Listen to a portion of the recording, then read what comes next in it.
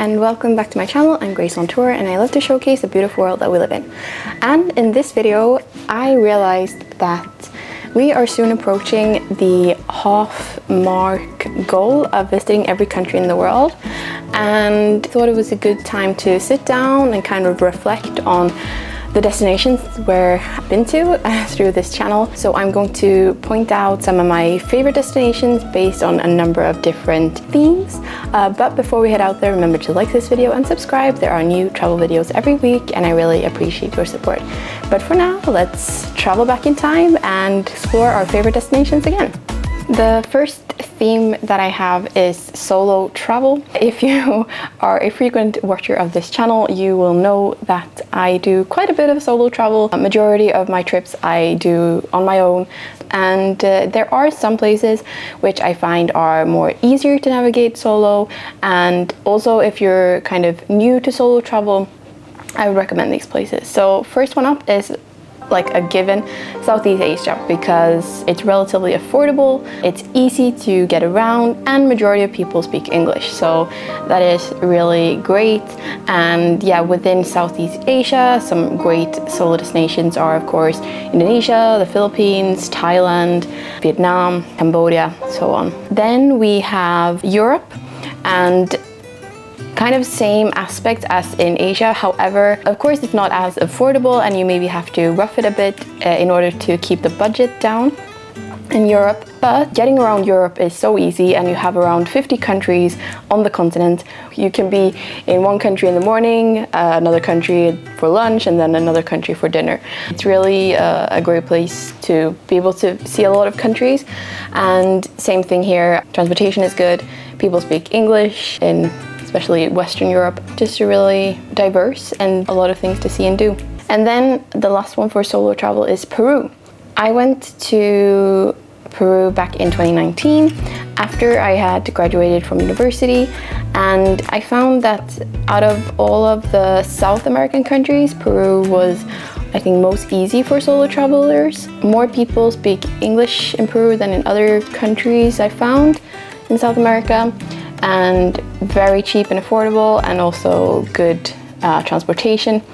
I can recommend uh, something called Peru Hop, which is an easy and affordable way to get around the country to the most famous spots. So that's a little tip for you. Next point is cities and I'm just going to list a bunch of cities which I find very fun, exciting and has a lot to offer. Of course, the first one is Hong Kong. It is where I live right now and I must say that Hong Kong has a lot to offer. It's a very bustling city, but you also have the beautiful nature and yeah, lots of things to see and do. And then we have Marrakesh. Me and my mom went there back in 2018 on a uh, weekend trip. We stayed in the, the old souks area. We just spent our days walking around the old bazaars and sipping mint tea on uh, rooftops overlooking the city. So then we have Paris. I think my favorite city in Europe. It's just something very magical about the Eiffel Tower sparkling at night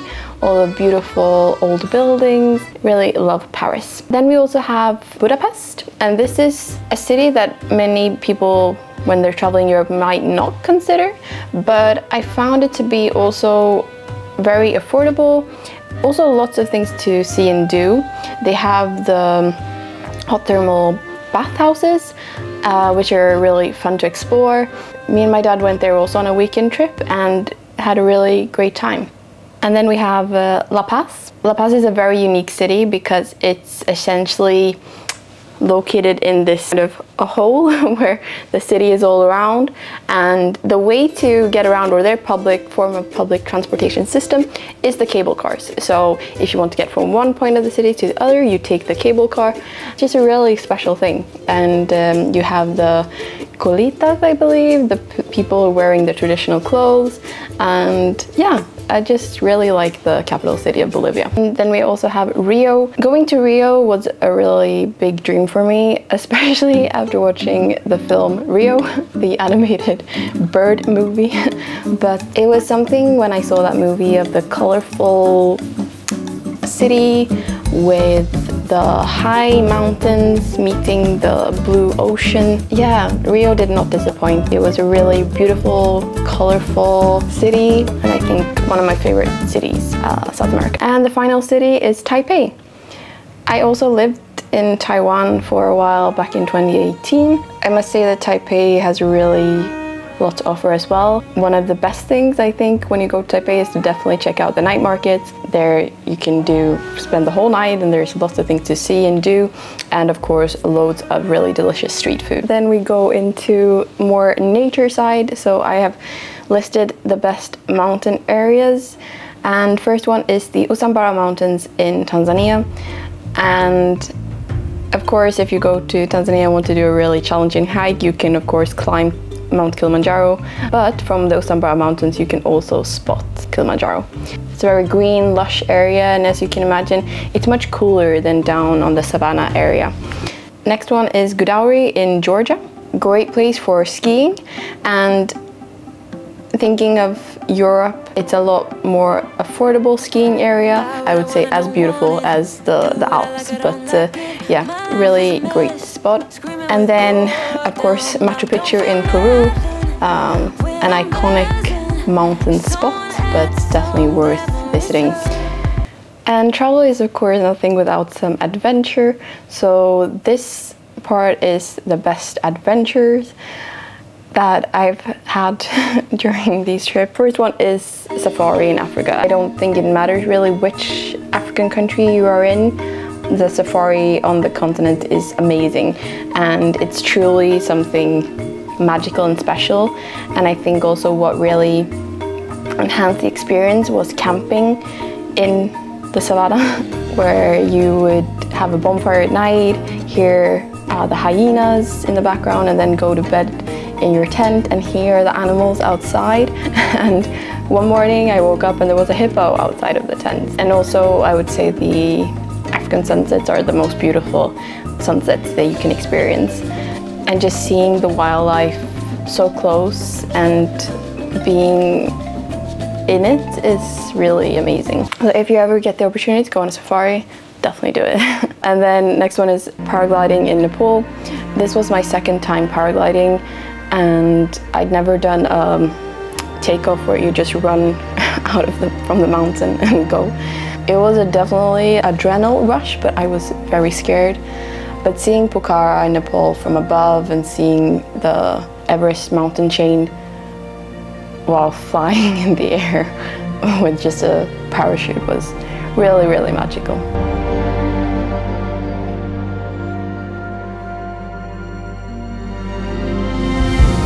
Next one is volcano boarding in Nicaragua. And what was really funny about this was as well that the mount that the volcano was actually active.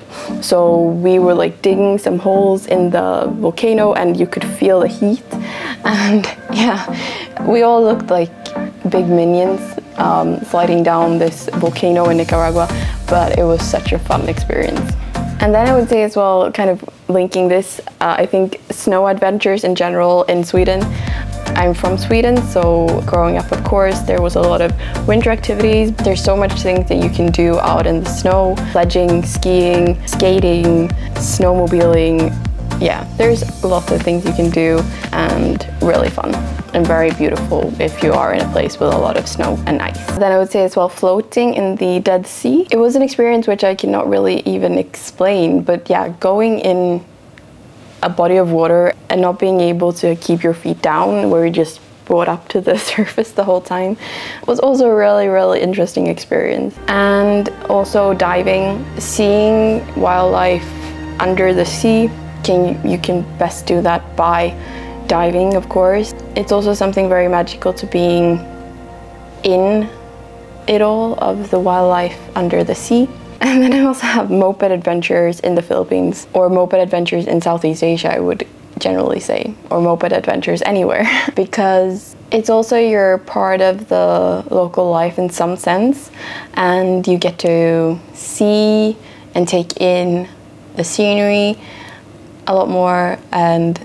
a lot of things can go wrong on a scooter but it's also really really fun. And I think the last kind of experience or adventure part is going to India because for me, uh, going to India back in 2017, which was my first time, it was so different from anything I'd ever experienced before.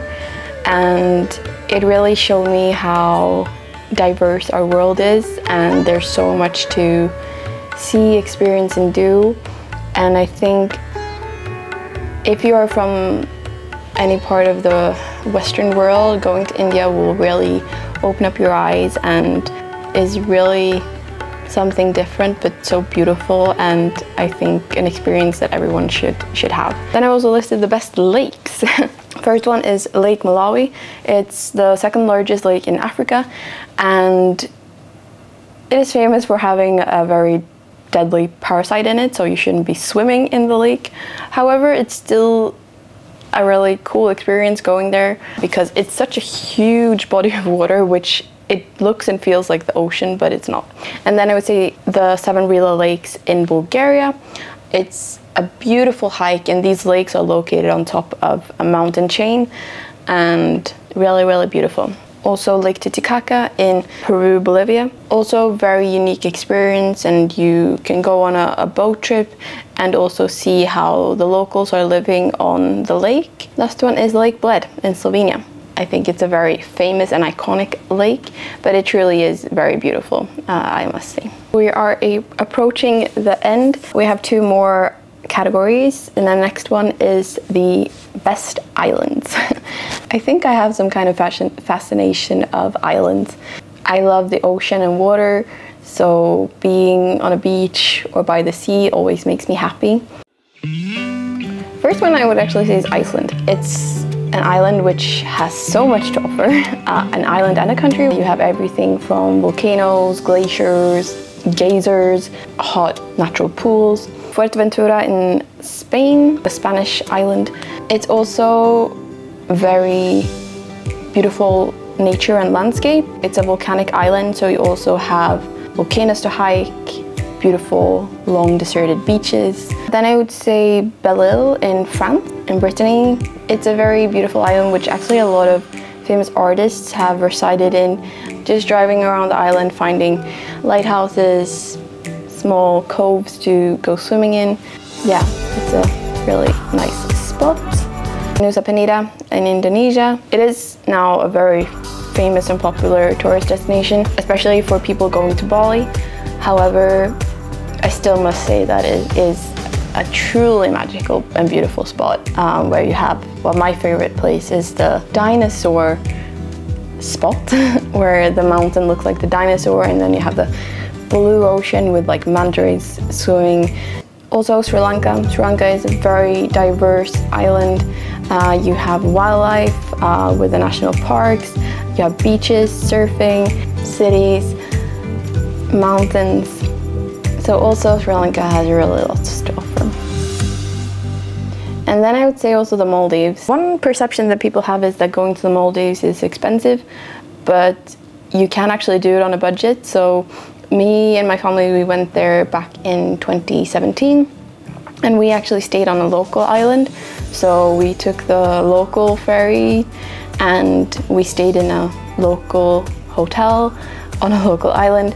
So it was not a resort or anything like that, but we still had the beautiful ocean, white sand and experience that anyone else staying on a resort island would have but paying like a tenth of the price.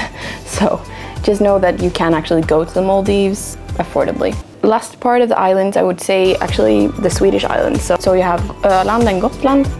It's the largest and the second largest island in Sweden and they are located in the Baltic Sea. Also just nice to drive around these islands and find uh, really beautiful spots. The last and final part of this best of video is the best remote places.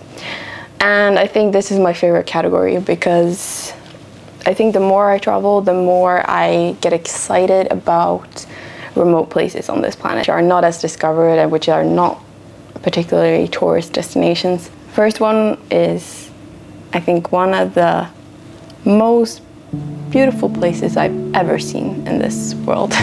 it's Socotra Island in Yemen. it, I can't really explain the magic of this island. Everything from the unique nature that they have, like the bottle trees, the dragon trees, the sand dunes, the dolphins, the sea, the sunrises, the sunsets, the clear starry skies. And also because it's so remote, um, they don't have mass tourism. We were camping the whole time, so you're really part of nature. And it was truly, truly an amazing place. and then we have Tokashiki, which is part of the Okinawa Islands in Japan. And Tokashiki was also a very local island and very beautiful, not a lot of tourists, and yeah, kind of a, a local island of Okinawa, which I really enjoyed.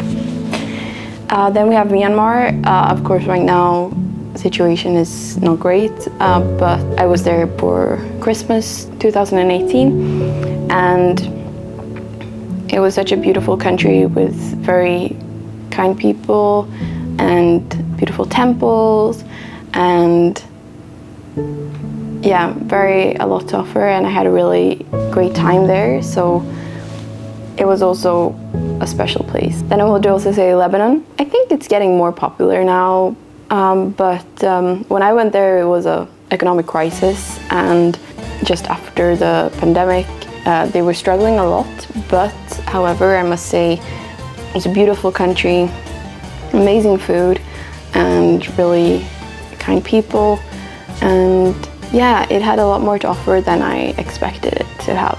So yeah. And then I would also say Honduras and El Salvador uh, in Central America. I think many people would maybe not consider going there um, on different aspects and factors, but yeah, I really enjoyed both of those places.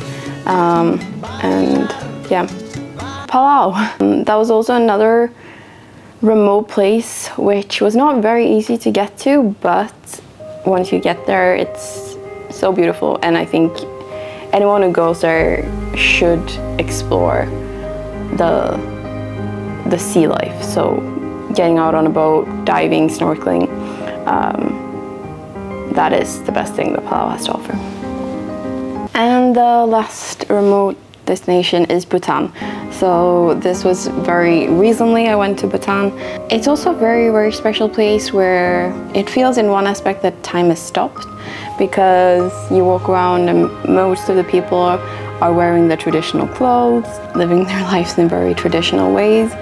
And also nature is very beautiful, very friendly people. And as it's quite hard to get to and expensive, it's also not many people that go there they, or they don't get any mass tourism in Bhutan so to say so that was also a very special trip so yeah that was a rundown of the best destinations that we have experienced together on this channel uh, thus far and I am truly excited for the coming years and bringing you along to the rest of the countries that we have um, yet to explore.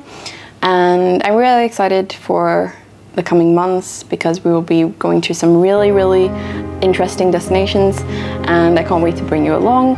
So thank you so much for watching and for your continued support on this channel.